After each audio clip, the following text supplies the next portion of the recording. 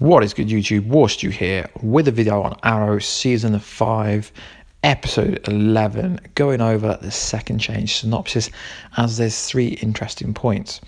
So, a few days ago, I made a video about Felicity potentially being the Black Canary. Comic Book tweeted a similar story, and then Mark Guggenheim said no, and then interesting, every other YouTuber kind of copied my video, but let's not go to go into that as that's how YouTube works. So we've got a very interesting synopsis to go over. So it goes like this: In his quest to take down Kovar, Oliver gets help from a surprising source, Talia al Ghul. However, when she reveals what she wants from him in exchange, Oliver isn't sure if Oliver isn't sure he can help her. So this led me to believe that this, obviously because she's Talia al Ghul and in the Batman history she had a kid with Batman. So this led me to believe that the kind of he isn't sure he can help her. I think this is referring to that Talia al Ghul asked Oliver to impregnate her. So Talia al Ghul wants a baby with him. I know this sounds a bit far fetched, but that is the only conclusion I can come to. Seeing as from the synopsis, this appears to be in the Russian flashbacks and not in the current day.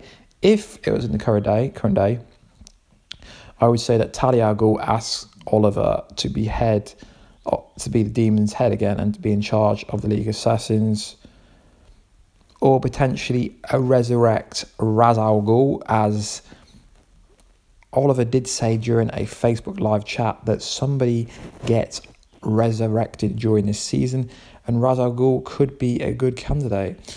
But like I said, this synopsis implies that it's in the past and not in the current day, and it also implies that Talia al Ghul is a guest star. So I presume she's only going to be in Arrow for a few episodes, which isn't cool. I think she should be awesome to stick around for a while. But let me know, what do you think Talia al wants in exchange for her helping Oliver take down Kovar? So then the next bit, this is more interesting to me. Felicity attempts to hack the NSA to help free Diggle. But when her online efforts are flagged, flagged, she faces off against an unknown adversary. And as soon as I thought of this, I thought I thought back to the time when everyone's everyone said that Felicity is going to become the Oracle because she had the accident like the Oracle. So as we all know, Barbara Gordon is the Oracle, and the origins of her turning to Oracle was soon after Crisis on Infinite Earth. Batgirl's story was streamlined. Uh, she retired because she was injured by the Joker. She would never walk again. However, rather than just giving up, Barbara changed the way she fought crime, became Oracle, a computer guru, able to find any information on the internet. As Oracle, Barbara was an invaluable aid to the Batman family, becoming a member of the Justice League of America, a mentor for the new Batgirl, and uh, help form the Birds of Prey, etc. So, at the moment, no one's been able to stop Felicity in terms of being like a crazy hacker. Her dad kind of got close, and her ex boyfriend kind of got close. Um, but yeah, I think this will be pretty cool if she does go up against the Oracle as Barbara Gordon, but I can't see this happening, seeing as Barbara Gordon is on Gotham, and Gotham is a Fox program. A lot of this kind of Batman Fox characters are only for the Gotham show. I know we've on Supergirl got Maggie, which is kind of related to kind of the Catwoman storyline in Gotham, in Batman. Sorry, but uh, yeah, it would be pretty cool if this was referring to Oracle versus Felicity. That would be an awesome, awesome storyline. Let me know what you think about my comments down below. And then the last bit has got the internet talking again, and that's why I mentioned Mark Guggenheim saying at the start that Felicity definitely well, he said no, that she isn't going to be the new um, Black Canary.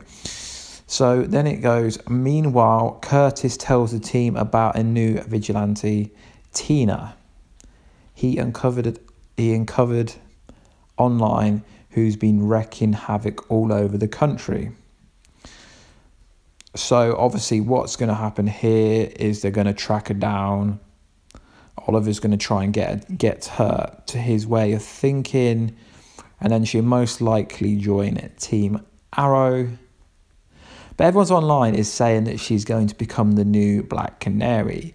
Um, yeah, potentially they will because we've all got to go back to the kind of Laurel scene where Laurel said, Don't let me be the last person to wear the, the Black Canary suit. So if this does happen, it will most likely be in towards the end of the season. And if someone else does become the Black Canary, I won't actually be that annoyed because although Katie Cassidy is the Black Canary to me, it'd be better to have someone else as a Black Canary if they're going to keep the Black Canary character going within this show. But if this is the case, this definitely means that Laurel Lance will Black Siren will not turn into Black Canary, but it would be cool to have a different version of Black Canary alongside Black Siren at some point. So I'm 90% sure that Tina will become the Black Canary persona, regardless to whether or not if she wears the Black Canary suit. But this will come apparent after episode 10, 11, and 12. So um, yeah, Arrow is looking pretty strong for the next few episodes. It is back next week. This episode doesn't actually air to the second. I think the second of second or first of February. Obviously, episode ten. Who are you? Airs on the twenty fifth of January, which is next week.